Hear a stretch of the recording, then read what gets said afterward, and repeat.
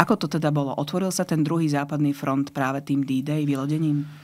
Ten termín po otvorení druhého frontu samozrejme je spojený s vylodením Normandii. Nový podcast televízie Joj o našej minulosti. Joj History vo všetkých podcastových aplikáciách.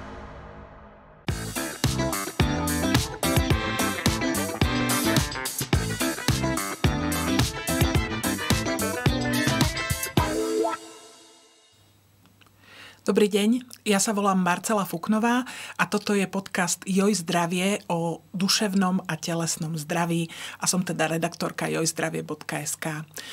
Dnes sa budeme rozprávať o probléme, ktorý súvisí s duševným zdravím, ktorý súvisí s duševným zdravím našich detí.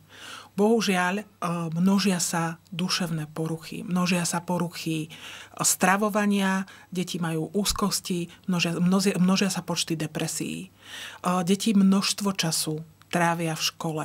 A v škola aj významným spôsobom ovplyvňuje ich, ich duševné zdravie. A preto sa dnes budeme rozprávať e, s pani Korneliou Ďuríkovou, ktorá je školskou psychologičkou na e, štvoročnom a osemročnom gymnáziu v Šamoríne a e, zároveň spolupracuje s Ligou za duševné zdravie práve na takom projekte, ktorý sa duševným zdravím detí v školách zaoberá. Dobrý deň, prajem. Dobrý deň. Pani doktorka, vy ste mi povedali, že nie ste doktorka, vy ste nie magisterka, som. tak vás budem, uh, budem, budem možno oslovovať Nela. Uh, v, prečo je to tak, že um, deti vlastne um, alebo takto sa opýtam. Začneme možno od toho, uh, v, čo je teraz také aktuálne, a to je vysvedčenie. Deti naozaj trávia veľa času v tej škole a, a to vysvedčenie často býva možno aj spúšťačom rôznych, rôznych pochodov, jednak v rodinách, jednak to môže byť naozaj spúšťač skratového konania u dieťaťa. Ako možno um, reagovať na to, keď tie výsledky nie sú také, ako by si rodič predstavoval? Čo by možno malo takému niečomu predchádzať v nejakému takémuto rozhovoru o tých výsledkoch? Ako by to malo vyzerať? Um, tak v prvom rade si myslím, že um, vlastne záujem o to dieťa začína o mnoho skôr ako v deň vysvedčenia. V podstate ten rodič by mal mať o to, o to dieťa záujem permanentne, neustále. A keď mu prejavuje lásku, záujem, neustále ho podporuje, stále sa zaujíma, akým, akými vecami žije, čo prežíva, ako sa cíti, čo všetko sú vlastne jeho témy, ktoré ho trápia, či už v jeho osobnom živote, ale takisto aj v škole, tak e, jednoducho k tomu skratovému e, správaniu by nemalo dôjsť. Zároveň si myslím, že je veľmi dôležité, aby sme si naozaj uvedomili, že vysvedčenie nie je úplne tá najdôležitejšia vec v živote. Samozrejme, tie známky e, sú dôležitou informáciou, sú dôležitou informáciou či už pre dieťa, alebo aj pre toho rodiča, alebo v podstate aj pre školu. Pretože e, je to informácia, ktorá poskytuje e, vedomosti alebo nejakú informáciu o tom, že akým spôsobom dieťa pracovalo celý rok, či má nejaké vedomostné rozdiely alebo prepady. Napríklad to je jedna z veľkých silných tém, ktorá sa v súčasnej dobe v školstve rieši, pretože práve v súvislosti s covidom veľmi veľa detí jednoducho to dištančné vzdelávanie spôsobilo to, že deti tých, tých vedomostí, tie prepady v tých vedomostiach sú veľmi veľké. To online dištančné vzdelávanie nebolo také kvalitné, ako keď je prezenčné. Čiže vlastne tá známka je dôležitá informácia, čo sa, čo sa týka vedomostí, ale nie, sú to len, nie je to len informácia o vedomostiach. Môže to byť dôležitá informácia, ktorá sa týka práve toho prežívania toho dieťa dieťaťa. Pretože jednoducho, keď sa no, dieťa necíti dobre a nefunguje dobre, keď jednoducho prežíva nejaké problémy, či už e, v jeho súkromnom, osobnom živote, alebo že či sú tam problémy napríklad v rámci triedy, alebo môžu to naznačovať aj nejaké problémy s učiteľom, tak sa to môže odraziť e, v tej známke takisto. Čiže e, na vysvedčenie sa pozerať skôr ako na takú informáciu, čiže nie, uvedomiť si, známka nie je a nedefinuje hodnotu toho dieťaťa. To dieťa je oveľa viac ako len tá známka. Čiže skôr sa na to pozerať z tohto uhla pohľadu. Zároveň si myslím, že je veľmi dôležité, aby sme ocenili akýkoľvek pokrok u dieťaťa. A snahu. A snahu, áno. A takisto je dôležité všimnúť si aj to, alebo nejakým spôsobom si uvedomiť, že napríklad teraz ku koncu školského roka veľmi veľa detí sa snažilo dohnať, čo sa dá, vylepšiť si známky a naozaj využívali mnohé silné svoje stránky, charakterové vlastnosti, ktoré, ktoré súvisia s osobnosťou človeka, ako napríklad sebaovládanie. Pretože možno menej času trávili na sociálnych sieťach, neišli toľko, toľko času netrávili s kamarátmi, ale sadli si a učili sa a hľadali vlastne tú cestu, ako zlepšiť si tú známku. Uh-huh. Čiže to vysvedčenie je dôležitá informácia, ale treba sa na to pozerať trošičku viac z nadhľadu. A možno naozaj v tých širších súvislostiach a s tým, že naozaj mali by sme sa zaujímať o to dieťa celý rok a vtedy by nás zrejme ani nemalo prekvapiť, čo má na vysvedčení. Jednoznačne, jednoznačne.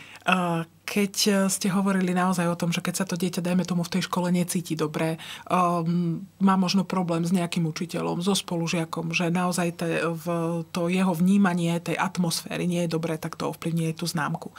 Ako tá atmosféra vplýva v podstate naozaj na duševné zdravie detí? Lebo samozrejme tam je viac zložiek, to je škola, rodina, ďalšie veci, ktoré sú, ale konkrétne toto, ono trávi v tej škole naozaj dosť času. A to dieťa každé, a keď tam tá atmosféra nie je dobrá, tak to skutočne asi, asi tomu dieťaťu dobre nerobí. Určite áno, atmosféra je nesmierne dôležitý faktor. Aj čo sa týka nejakých tých vedomostí toho dieťaťa, schopnosti dieťaťa učiť sa, pretože ono je to všetko nejakým spôsobom zakoredené aj v našom mozgu, že v podstate predovšetkým v tom prvom rade my vlastne vnímame tie signály, ktoré a vyhodnocujeme signály, ktoré nám hovoria o tom, že či sa nachádzame v bezpečnom alebo nebezpečnom prostredí. A keď dieťa vlastne si vyhodnocuje to, že sa nachádza v nebezpečnom prostredí alebo v prostredí, ktoré je toxické, alebo prostredie, ktoré nejakým spôsobom mu e, dáva alebo vytvára e, príliš veľký stres, tak e, jednoducho nevie podávať ten výkon taký, aký by mal. Aj keď sa napríklad naučí, ale v tej atmosfére nepohody jednoducho nevie, nevie pracovať napätia, napätia mm. nevie pracovať naozaj veľmi dobre. Čiže tú atmosféru v škole zásadným spôsobom formujú nielen to, že ako sa učíme, ale predovšetkým, alebo vytvárajú to také veci ako vzťahy v triede vzťahy medzi deťmi, vzťahy s učiteľmi, hej, vzťah učiteľ-žiak, to veľmi zásadnou mierou ovplyvňuje vlastne schopnosť dieťaťa učiť sa. A potom takisto aj celková atmosféra v škole. Ako ste povedali, dieťa v škole trávi obrovské množstvo času. Čiže je to taký malý svet veľký svet v malom, tak by som povedala. Vlastne tam si testujú deti všetky sociálne zručnosti, emocionálne zručnosti. A je to svet, kde oni spoznávajú z veľkej miery do akej miery svet je spravodlivý, mm. nespravodlivý, do akej miery ich dospelí tie deti počúvajú, nepočúvajú, či majú, či ich názor detí je vypočutý alebo nevypočutý, čiže je toho veľmi veľa. Vy e, sa zúčastňujete teda toho projektu Pohodomer. My sme o ňom mali aj štúdio v televízii 24 a tie výsledky boli skutočne zaujímavé a pre mňa osobne boli aj naozaj také zaražajúce, aj tým spôsobom dosť smutné. Mohli by sme si o nich možno povedať, že čo tie deti, ktoré sa zúčastnili toho prieskumu e, v tej naozaj atmosféry v školách, že čo z toho prieskumu vyplynulo pre deti a možno, že naozaj aj čo povedali učiteľi, alebo to tiež bolo veľmi zásadné? Mm. Um, áno, my vlastne v rámci uh, Ligy za duševné zdravie je projekt, ktorý sa venuje práve školám uh, a duševnému zdraviu v školách a tento projekt sa volá, že Koalícia škôl za duševné zdravie. A v rámci toho vlastne realizujeme také pravidelné merania uh, duševnej pohody v školách a je to zamerané na deti a takisto aj na učiteľov. A e, ten zber dát je taký pravidelný, systematický. On neskončil ešte stále, vlastne prebieha. Aktuálne máme okolo cez 4 tisíc vlastne e, odpovedí od detí a približne okolo 600-700 od učiteľov. No a vlastne tie výsledky naozaj naznačujú to, čo sa týka detí, že deti sú nevypočuté. Majú naozaj jeden z najväčších problémov naprieč celým Slovenskom je to, že deti proste hovoria o tom, že v škole nemajú dospelého človeka, ktorému sa môžu zdôveriť ktorý ich vypočuje, ktorý, ktorý naozaj im verí, ktorý mm, nejak vnáša tú nádej do ich života. Čiže jednoducho chýba im dospelý človek, o ktorého sa môžu v škole oprieť. A druhá vec, ktorá vychádza tak trošku negatívne naprieč celým Slovenskom, je to práve, že deti si vedia urobiť názor na mnohé veci. Samozrejme, čím sú starší, tak tým ten názor majú zreteľnejší, ale um, ako keby nedostávajú v školách priestor na to, aby sa stali aktívnou súčasťou diania v škole, v triede. Jednoducho stále ako keby z tej pozície moci my dospelí mm. vystupujeme a diktujeme im úplne, že čo áno a čo nie. A tu chcem zdôrazniť to, že um, um, naozaj to nie je o tom, aby tu bol ako sa zvykne hovoriť, alebo sa proste jednoducho v školách zvykne hovoriť, že, že, je, mal by, že musíme sa vyhnúť diktátu detí. Hej. Naozaj to nie je o diktáte detí, ale je, je to o tom, aby sme deťom dali priestor, aby sa zapájali aktívne do diania a procesov v škole. Ja si myslím, že naozaj, ak je tá atmosféra taká, že dobrá, tým deťom sa dá dôvera, ono je to práve naopak. Podľa mňa nie je to potom o diktáte, ale je to o tom, že obidve strany z toho prosperujú a ten vzťah je potom taký, aký má byť. Áno. Ale v, ak sa budeme teda venovať tomu, že to tak nie je, čo naozaj ako sa často stáva, že to tak nie je, v, aké signály môže dieťa dávať, že v škole to nie je v poriadku. Ako to môže ten rodič zistiť, že e, sa tam niečo deje? Že naozaj to dieťa sa tam necíti dobre, nemá sa tam dobre? Uh. Tých signálov je viacero. V podstate každý ten rodič si, by si mal poznať to svoje dieťa najlepšie. Čiže akákoľvek zmena správania je signálom k tomu, že niečo sa uh, nedieje správne. Ale najčastejšie to bývajú také, že napríklad deti majú bolesti brucha, alebo bolesti hlavy, alebo e, nechcú ísť do školy, stále sa vyhovárajú, majú takéto vyhýbavé správanie. Ale napríklad môže to byť aj to, že mm, neviem, odhlásia sa z nejakých sociálnych e, sietí alebo mm. zo mhm. skupín. Hej. Čím sú staršie deti, tak majú už nejaké svoje skupiny v rámci četov na, na sociálnych sieťach a ja neviem, dieťa napríklad e, nechce byť súčasťou, súčasťou tej triednej komunity alebo nechce sa zúčastňovať triedného výletu alebo nejakých takýchto aktivít. Čiže rodič by mal si všimnúť akúkoľvek zmenu správania, ale toto sú také asi najčastejšie. Mm-hmm. V, keď ste hovorili teda o tom, že dieťa sa odhlási zo sociálnych nejakých skupín, naozaj, ktoré sú na sociálnych sieťach, funguje aj, dajme tomu, šikana aj týmto spôsobom? Objavuje sa to dnes, že naozaj táto kyberšikana na sociálnych sieťach? Áno, určite áno, je to veľký fenomén. A naozaj vlastne dnes um, bolo také obdobie, že vlastne taká tá klasická šikana bola tá dominantná. Strkanie, bitky a podobne. Áno, a branie desiaty. Presne tak, branie desiat. A dnes sa to presúva na tie sociálne siete. Deti sa tam ohovárajú, klebetia mm, jeden o druhom, ale môže byť napríklad aj to, že vyčlenia niekoho mm. že z tej skupiny sociálnej bez dania dôvodu, alebo vlastne šírenie fotografií bez toho, aby dieťa dalo nejaký súhlas, zosmiešňovanie na sociálnych sieťach, natáčanie videí a šírenie videí. Mm. Že to všetko je, všetko je v podstate kyberšikana a je to veľmi rozšírené. To ale znie naozaj hrôzo strašné. A čo ten rodič naozaj proti takémuto niečomu môže robiť? Keď možno to dieťa naozaj mu povie, možno povie, možno nepovie, e, že sa takéto niečo deje, naozaj buď taký beršikana, alebo to, že v tej škole sa niečo deje, že sa nemá dobre. Je nejaká prvá pomoc, čo môže rodič pre to dieťa urobiť? Myslím si, že v prvom rade musí, mal by vyjadriť teda nejakú podporu. Podporu. Podporu tomu dieťaťu. Proste to dieťa, ako náhle cíti podporu toho rodiča, tak, tak je to lepšie. Je to lepšie. Je to lepšie. A, a potom Takisto si treba uvedomiť, že vlastne mm, šikanu deti nevedia zvládnuť sami. Oni potrebujú naozaj dospelého k tomu, aby, aby sa to zvládlo. Čiže ak sa deje šikana v škole, je dôležité, aby ten rodič išiel do školy a pokusil sa to riešiť. Či už s učiteľom triedným, alebo s riaditeľom. Záleží od toho, že o čo ide, prípadne so školským e, psychológom. Jednoducho um, ísť do školy a snažiť sa to nejakým spôsobom riešiť. Vy ste školská psychologička. Chodia za vami deti? Je to tak, že oni využívajú tú možnosť, ak je a môžu ju vôbec využiť? A môže ten školský psychológ, dajme tomu, ako keby zmeniť osud toho dieťaťa v rámci tej školy, v rámci tej atmosféry? Môže napríklad zmeniť pohľad učiteľov na to dieťa? Môžete aj vy takto nejako fungovať, ako takýto nejaký prostredník, mediátor? V podstate ten školský psychológ je taký mm. mediátor a častokrát tlmočí ako keby tie predstavy um, alebo to, čo zažíva, prežíva dieťa napríklad rodičovi alebo učiteľovi a zasa vlastne um, učiteľskú alebo, alebo rodičovský uhol pohľadu dieťaťu. Čiže je taký mediátor alebo taký spojovník vlastne týchto všetkých uh, zlo, zložiek mm-hmm. školy. Um, moja skúsenosť je, že deti chodia. Um, v podstate, čím sú staršie, tým viac chodia. Individuálne vyhľadávajú uh, pomoc a podporu, alebo len tak sa porozprávať.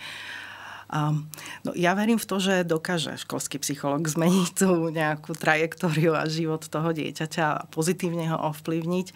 Um, myslím si, že by mal. Aj, že mal by mať ten tú, tú, ten priestor, alebo jednoducho, tú, jednoducho je, tu, je tá šanca, že, že môže ale, ale je to také individuálnych faktorov, ktoré mm. vlastne vplývajú na vôbec na život človeka je veľmi veľa. Ale potešili ste ma, že ste povedali, že tie deti sa snažia tú pomoc vyhľadať, lebo ten, kto vyhľadá pomoc, ten sa nevzdáva, ten sa nechce vzdať. Áno. Takže áno. To, je, to je naozaj skvelé.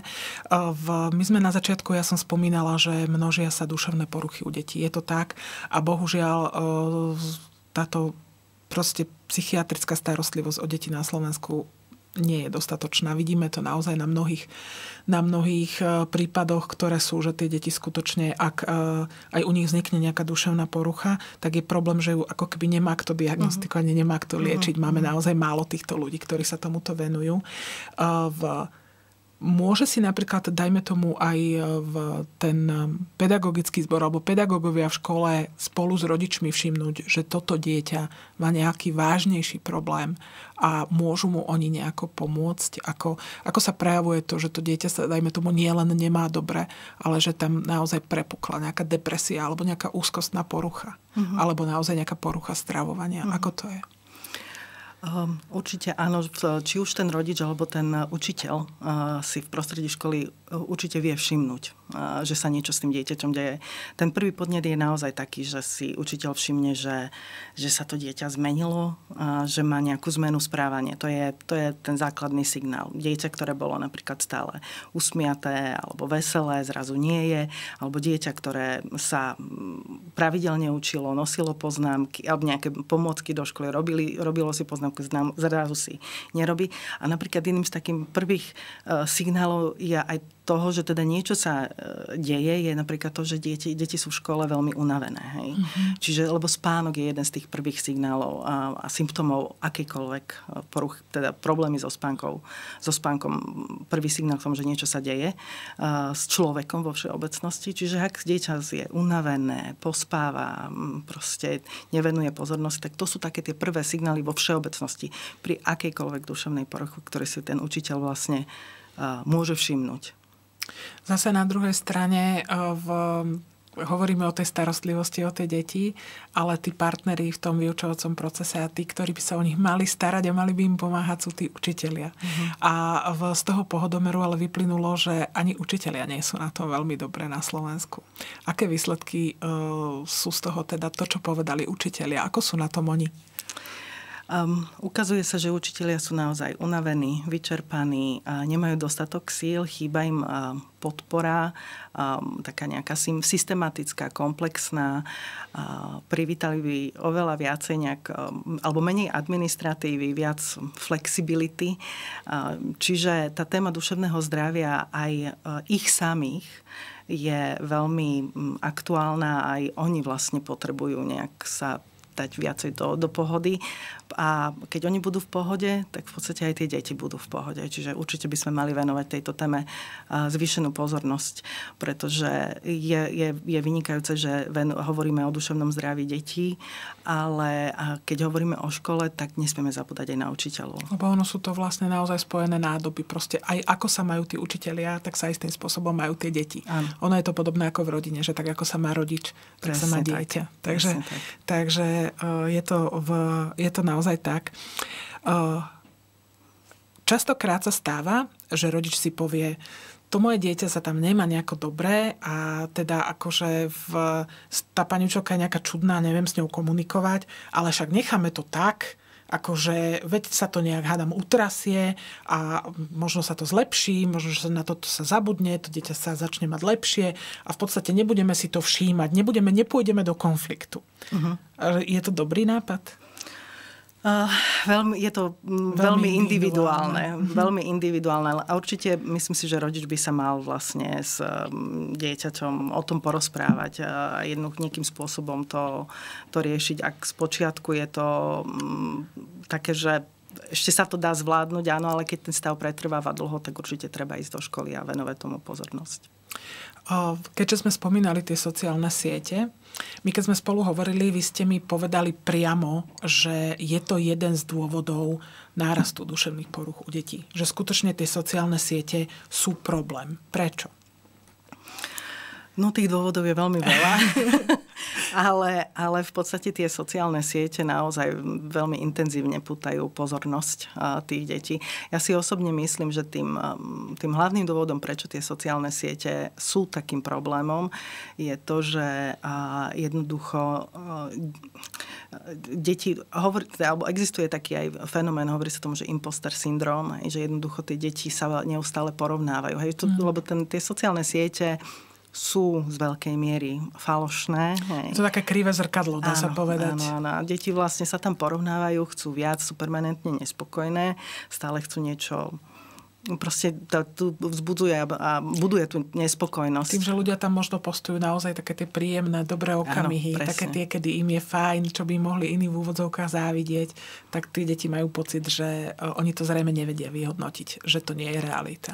Áno, áno, určite áno. A tým ďalším dôvodom, prečo myslím si, že sociálne siete sú problém je, a to je vo všeobecnosti s um, v podstate s internetom alebo takto so sociálnymi sieťami, je, že dnešná doba je veľmi rýchla a vlastne prísun tých informácií obrovský. je obrovský. A um, jednoducho tie deti sú zahlcované množstvom kvantom informácií a kedy si sme čakali na správy jeden deň a človek mal takú priestor sa vlastne venovať um, aj vlastne niečomu inému a nebol zahltený tými informáciami. A teraz deti vlastne sú zahlcované permanentne a nevedia to rozlišovať vlastne, že čo je dôležitá informácia, čo nie je dôležitá. Je to aj z biologického hľadiska, že ten mozog tých detí nie je ešte pripravený Určite. na takéto niečo? Určite mozog vlastne dozrieva okolo 25.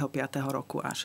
A celkovo dospelý človek, už aj ten mozog je, má ako keby, v podstate je akože dozretý, ale on ten vždy, neustále ten mozog uh, sa, je flexibilný, je plastický, takže tam neustále môžeme s ním niečo robiť.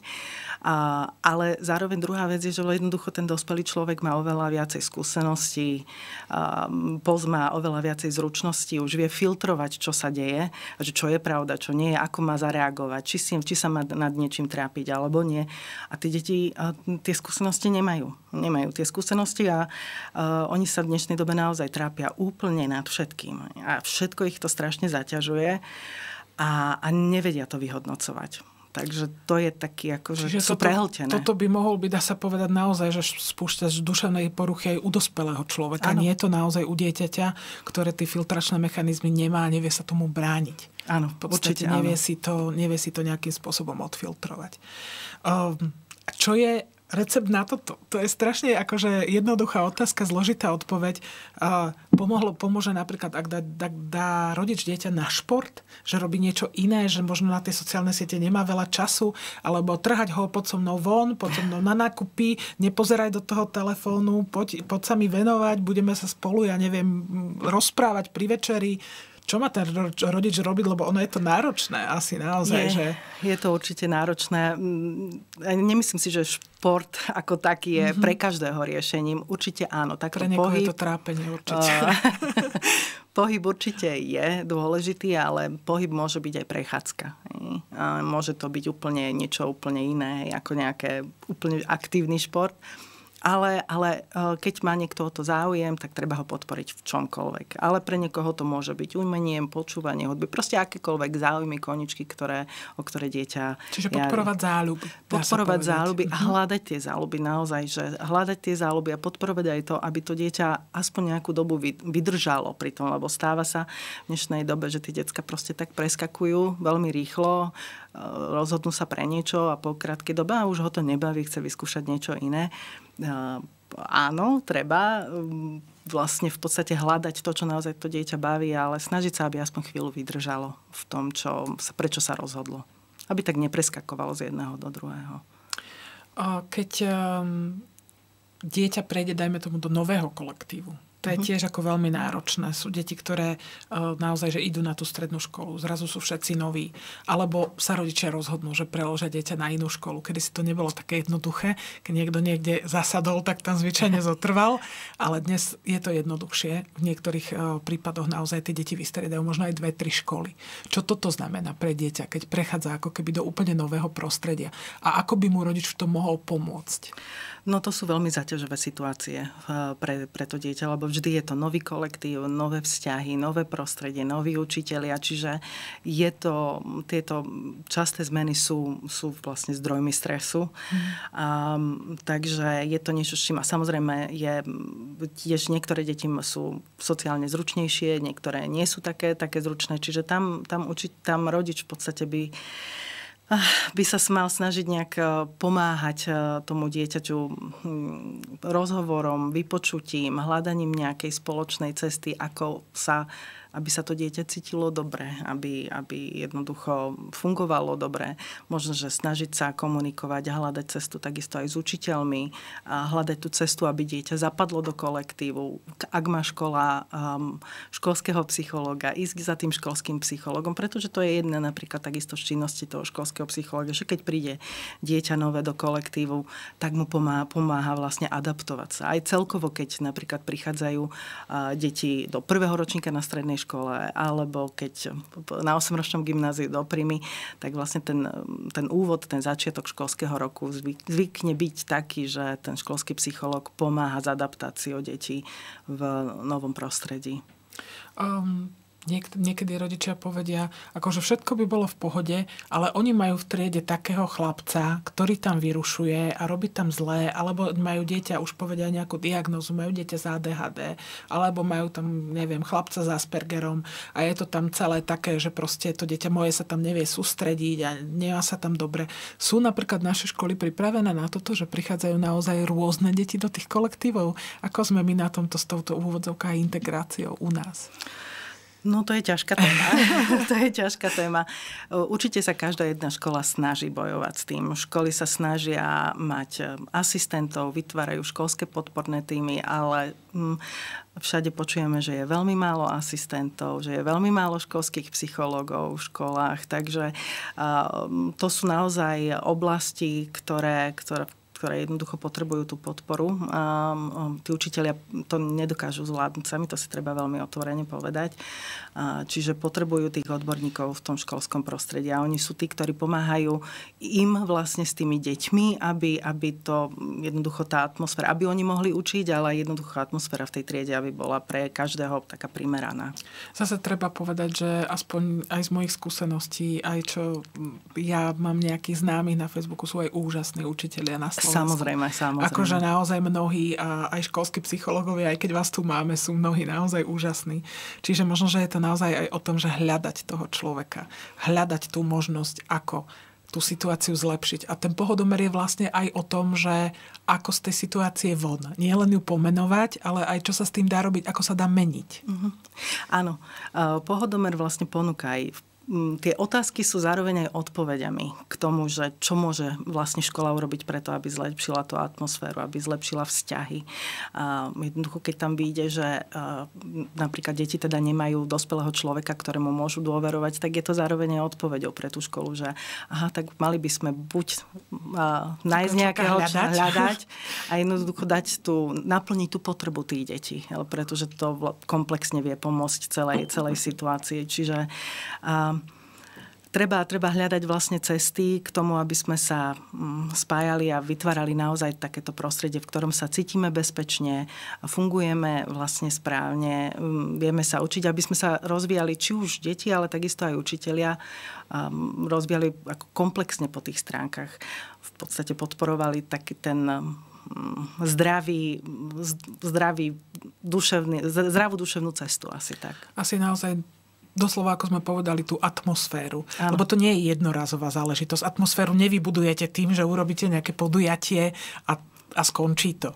Atmosféra je v podstate nepretržitý rad malých krokov, ktoré idú za sebou a ktoré tú atmosféru budujú. Presne tak, atmosféra to nie je to, že napríklad keď škola sa rozhodne venovať duševnému zdraviu, tak urobí jeden, nejakú preventívnu aktivitu, nejakú jednu pred, prednášku, ale atmosféra sa vlastne buduje veľmi dlho, veľmi ťažko a je postavená na ľuďoch. Vlastne ono to celé je postavené na ľuďoch, na medziľudských vzťahoch.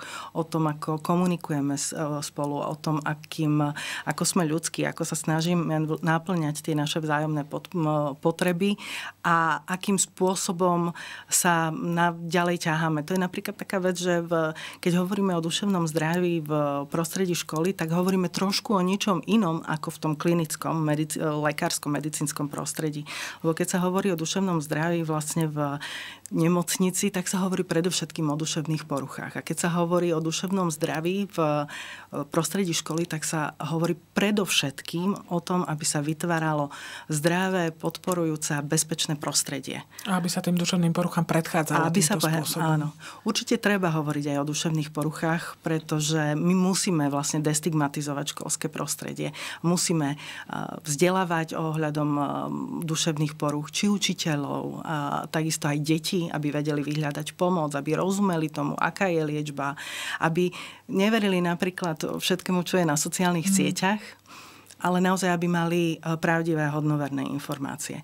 Ale predovšetkým je to o tej atmosfére.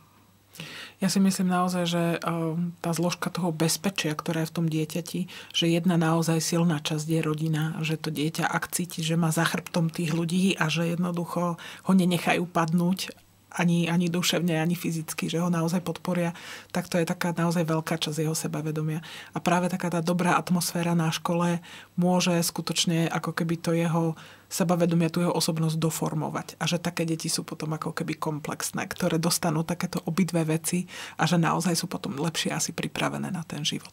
Áno, je to tak. V podstate rodina a škola sú dve základné zložky, ktoré zásadným spôsobom ovplyvňujú kvalitu života toho dieťaťa.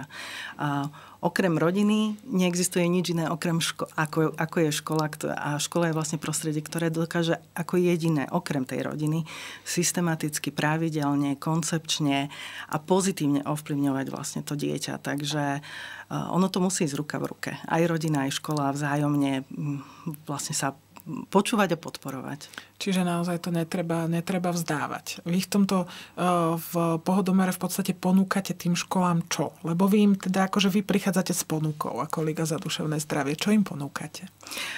My vlastne v rámci, toho, v rámci koalície škôl za duševné zdravie realizujeme práve takúto systematickú dlhodobú podporu školám v téme duševného zdravia. zdravia. Chceme, aby sa tá téma stala súčasťou tej atmosféry, kultúry, aby to nebolo o, tom, o tej jednorazovej aktivite, ale naozaj je to o tom, aby v tých školách sa vnímala tá téma seriózne, vážne a jednoducho, aby sa to uchopilo tak, že to bude v tej duši tej, tej školy. A pohodomer je jeden z tých nástrojov. My sa vlastne opierame o metodiku z Anglicka, z Anna Freud Centra a tam je vlastne systém nejakých piatich krokov, ktoré, ktoré pomáhajú k tomu, aby tá téma duševného zdravia v škole bola taká akože zakotvená. A pohodomer je jeden, jeden z tých nástrojov. Teraz prichádzajú prázdniny. My sme sa teraz stretli, dá sa povedať, že tesne pred koncom školského roka. Aký je toto čas pre deti? A v, je náročný alebo je pohodový? Čo to pre ne znamená, že teda prichádzajú tie dva mesiace voľna? Myslím si, že je to, akože deti sa tešia na, na to. No, rodičia menej. Aj, deti sa tešia, samozrejme, aj učitelia sa tešia. Um, vždy ten koniec školského roku je taký stresujúci a je veľmi náročný pre deti aj pre učiteľov. Prázdniny, je, to je obdobie vlastne oddychu, takže myslím si, že všetky deti sa tešia a už potom je o tom individuálnom príbehu toho dieťaťa, že, že kde ako trávi vlastne tie prázdniny. Ale malo by to byť v prvom rade o tom oddychu. Malo by to byť, čiže nerobiť im program naozaj možno každú chvíľu. Zase na druhej strane niekto si povie, no dobré, ale tak ja to moje dieťa tuto nechám doma, však nech je, nech sa vyspí, nech si niečo tam uh-huh. zoberie alebo navarí, ale čo to dieťa bude medzi časom robiť? No tak akože bude mi čumieť tam na ten počítač Xbox a bude si proste pozerať tie sociálne siete. Čo s tým? E, je to o tom balanse. Mm-hmm. Že teda malo by to byť o tom, že určite, nemyslím si, že je správna cesta tá, že vlastne, že vôbec, hej, že teda nechám úplne, že voľnú ruku, a čiže nejaký program a mať naplánovaný. Určite je fajn, keď sa zmení prostredie, teda že dieťa z toho domáceho prostredia ide niekde inde, lebo už len ten, to, že ide do iného prostredia je, je osviežujúce, alebo by to malo byť osviežujúce. A môže to priniesť ten oddych. Presne tak. Mm-hmm. Že výjsť z toho prostredia, čiže zmeniť prostredie, no a, a, a potom snažiť sa vytvoriť nejaký program, ale uh, nie, aby to bolo možno úplne, že nalinajkované, nalinajkované. každý, každý jeden deň. Ono je možno možno fajn, keď to dieťa samé vie, že toto je pre mňa dobré. Že ja keď idem von a idem si proste, ja neviem, pobicyklovať a potom si možno chvíľu zahrám a potom idem robiť niečo iné, tak to bude pre mňa fajn. Že a. naozaj asi aj podporovať tie deti v tom, že, že toto ti pomáha, aby si sa mal dobre takto v podstate tráviť ten čas. Ak to, len to je o tej budovaní zase tej dôvery, ako aj jednak medzi rodičmi, deťmi a jednak medzi teda deťmi školou, ako sme povedali. V, ja vám veľmi pekne ďakujem, ja ďakujem za, za informácie. Chcem naozaj veriť tomu, že to prostredie školské bude pre tie deti čoraz lepšie a bezpečnejšie. A naozaj aj pre tých učiteľov bude, bude možno menej náročné, že budú mať viac podpory. Lebo ako naozaj povedať len, že teda zaujímame sa o deti, ale nikto sa nezaujíma o tých učiteľov. To skutočne nejde. Takže um, Takže a ja som teda akože aj z tohto miesta chcem povedať, že my rodičia sme veľmi vďační za ich prácu. Naozaj, akože mnohí môžu ten život toho dieťaťa zmeniť v tom najlepšom slova zmysle a navždy si ich zapamätá ako úžasných učiteľov. Ja si niekoľkých takých pamätám a prijala by som to každému dieťaťu. Aj to, aby malo takého skvelého školského psychologa, možno ako ste vy. Takže ešte raz vám ďakujem za návštevu a Pohodomer je projekt pre e, školy pre deti, pre učiteľov, ktoré sa zaoberá teda duševným zdravím detí na školách a verím, že sa do na budúci rok zapojí čo najviac škôl. Ďakujem pekne. A ja vám ďakujem.